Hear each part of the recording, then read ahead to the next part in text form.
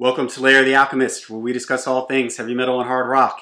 On today's episode, let's discuss UFO and their album Lights Out. This is the sixth UFO studio album, and uh, it is actually the highest charting uh, album from them the, in the US. The album was released in 1977, and for me, this was my first UFO album. I actually had it on, on cassette, and I can't remember how I got it. I think I got it through through a record club, and it's it's kind of an interesting way to come into UFO because uh, this album is very produced. It was produced by Ron Nevison, and there's a lot of uh, strings and stuff like that. The album, which isn't a bad thing, you know, the album has a real kind of warm sound to it. It's probably the most produced, maybe out of all these 70s era Michael Schenker albums.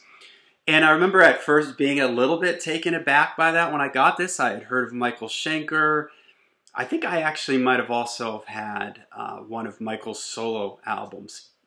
But when I got this, I was sort of surprised at the string arrangements and sort of the way the production was on some of the things. And it took me a little while to get into it you know to get to get past some of that. It threw me off. I was expecting like you know heavy riffing guitar across across the whole thing. But it's it's an album that i quickly grew to love. And i do really really like this record. And i like records that are really well produced. I've talked about uh, bob ezrin how i like bob ezrin and what he brought to like Alice Cooper's Billion Dollar Babies or Kiss's Destroyer. I like rock things where there's strings and horns and orchestral things to just sort of uh, supplement and add to the sound. And I think you have that kind of uh, all over this record.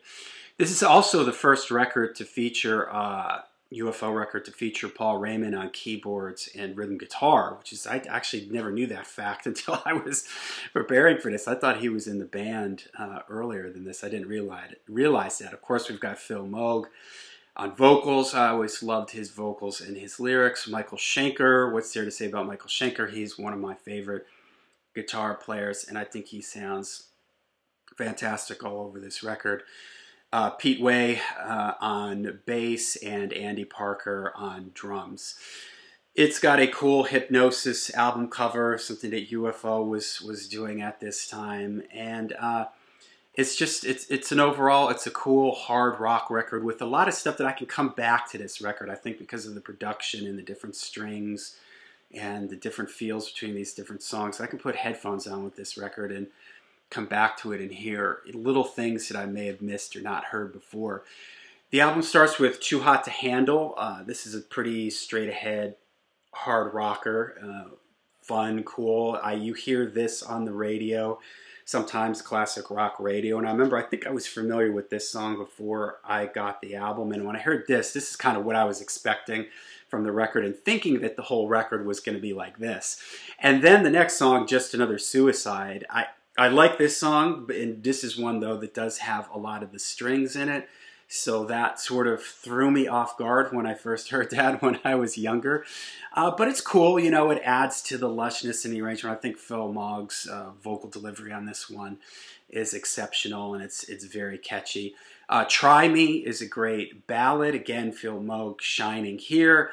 The string arrangements adding, really carrying uh, most of the song here. Some subtle guitar work here from Michael Schenker with some beautiful melodies. Something that I always say with Michael Schenker, he is like the king of melodic guitar playing and melodies in his soloing. He never sounds like he's just throwing his fingers all over the fingerboard. There's always melody, even when he's playing fast. There's you can you can hear the notes. There's melody inside there. So I I, I love when he plays real simple, almost Eric Clapton like just sort of slow and melodic, bluesy bends and stuff like that. All right, and then uh, side one ends with Lights Out. Fantastic rocker, a signature UFO song, you know, right up there with Doctor Doctor. Uh, great, great hard rocking, if you want to call it. Proto heavy metal. I would not consider UFO to be a heavy metal band. They're a great hard rock band, in my opinion. But this song is a, is a great example of how UFO influenced a lot of the 80s metal bands because Lights Out is, is a great heavy rocker. You could call this one heavy metal, fantastic riffing, great chorus. Uh, I love the driving feel of it, and Schenker's playing is just is just off the charts. Okay, side two opens up with uh, "Getting Ready," and this one, it's okay. It's it's it's not my favorite on the record. It's it's catchy. It's kind of there. It's kind of a mid tempo thing. When you're coming off of something like Lights Out, and you know things like Too Hot to Handle, and even the great ballad I mentioned, Try Me. This one feels a little bit uh, doesn't live quite up to uh, those songs that came before it and some of the ones that are going to come after it.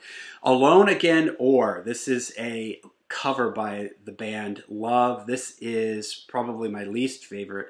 It is my least favorite song on the album. I don't really like the verse in this. I don't like the feel. The melody is very sort of happy sounding and I just I've never been able to really fully get into this one. This is one where the strings make it sound almost sappy and silly to me. It just doesn't work.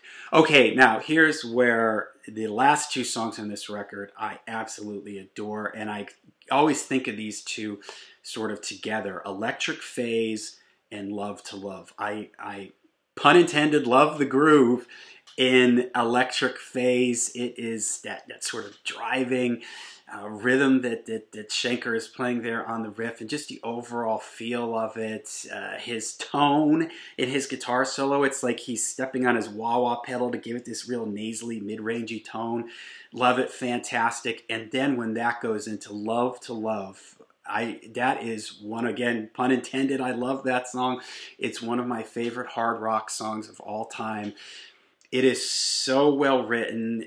It, the way it moves, that intro, that moody intro, the piano thing at the beginning, and when the way the verses come in and they're so like uplifting, it's like the verse just sort of lifts itself up into like a major key.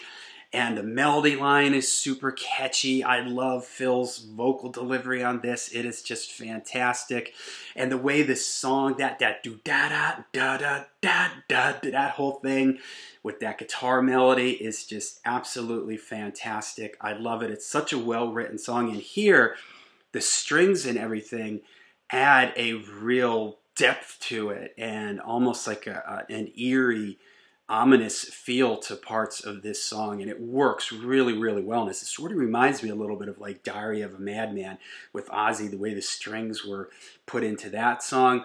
This has a similar feel. The strings give it this this ominous brooding uh, vibe to it that, that i just love. It's a fantastic song. One of, it's my favorite ufo song one of my favorite Michael Schenker songs. It is it is just fantastic, and here the production just really makes it sound lush and big. Like there's just so much going on, and the way the song just ebbs and flows with the moods and the difference between the verses and the that minor key riff. It's just fantastic. Love it. It's an awesome album closer. I don't know if I've ever done a video of my, my favorite album closers. This would definitely be on that list if I haven't made that video already.